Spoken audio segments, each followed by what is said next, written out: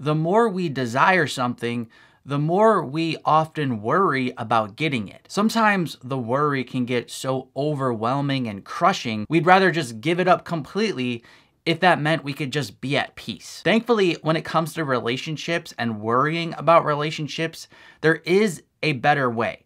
You don't have to just give up relationships to stop worrying about them.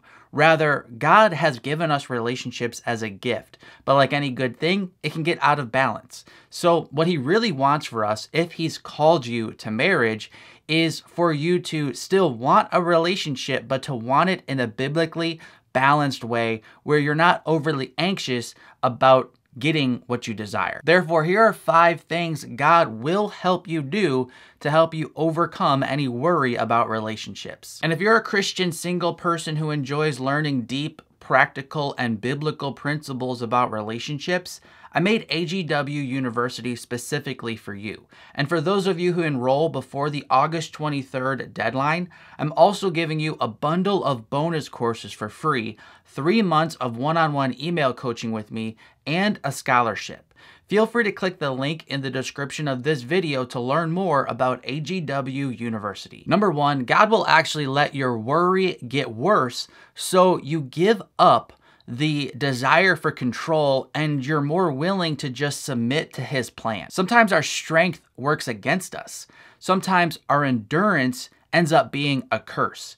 And sometimes we need to give up sooner. 1 Peter 4, 6 through 7 states, Humble yourselves, therefore, under the mighty hand of God, so that at the proper time he may exalt you, casting all your anxieties on him because he cares for you. If you don't humble yourself, and if you don't cast all your anxieties on him in love, God will let you be humbled by the anxieties you are refusing to cast onto him. Number two, God will help you accept the very real possibility that you don't get what you're hoping to get. No, I just can't accept that God would call me to singleness. No, I just don't believe a loving God would refuse to give me the marriage I always longed for. No, I will refuse to be happy until God takes away my singleness and gives me a relationship. If you cannot accept the will of God, even if this is something you don't want. His will is something maybe you don't want. If you can't accept that, you will always be tormented by worry and anxiety.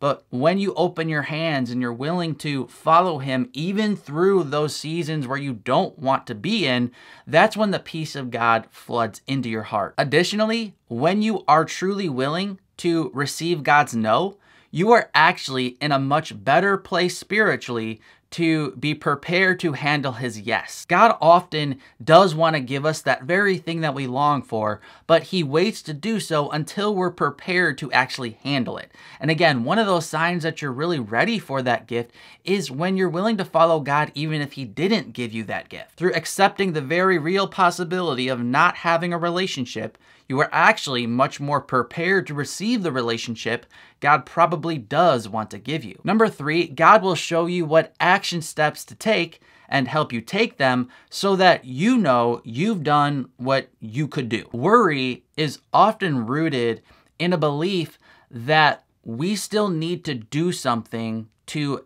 get the desire that we really want. So in one way, this can be healthy. There's a healthy pressure inside of us that God allows to build when there is something we really actually do need to accomplish to receive what God wants to then give us. But it turns into an unhealthy, sinful worry when we do what God has called us to do, and then we continue to have this belief that there's something we still need to do to get what we want. And that's when the worry starts to occur because worry is like the overflow of a desire when there's nothing left to do. You don't have any more actions to take, and so all that energy you have to accomplish that thing that you want turns into worry. God doesn't want you to be the person who lacks worry because they are lazy and just doesn't care. And God also doesn't want you to worry because you think it all depends on you.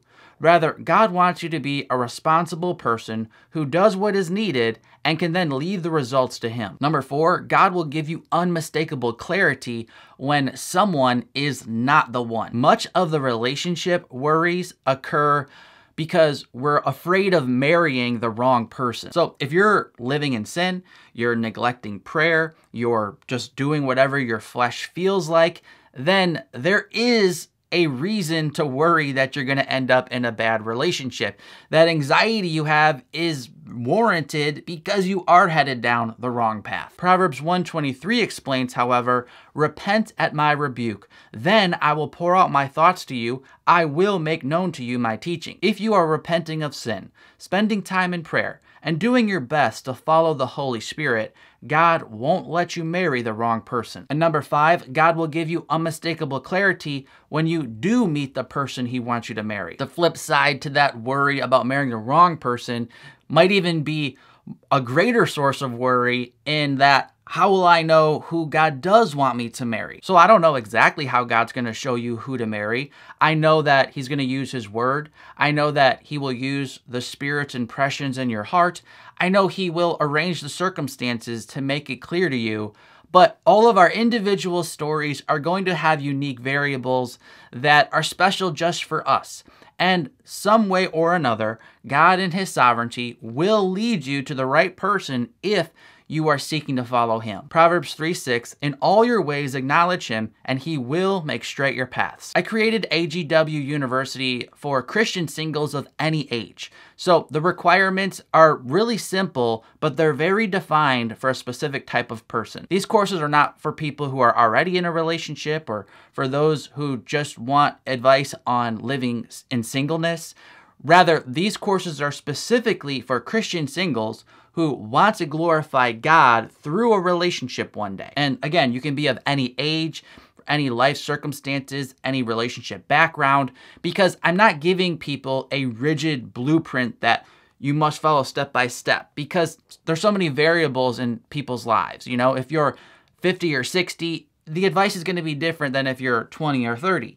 And that's why I give people biblical principles, a blueprint of biblical principles that those people can then apply to their own life. And through the email coaching, that's where you and I can really flesh out what you need to do specifically based upon your unique situation. The deadline to enroll is August 23rd at 11:59 p.m. So, if this is something you're interested in, you can click the link in the description of this video. Until next time, God bless.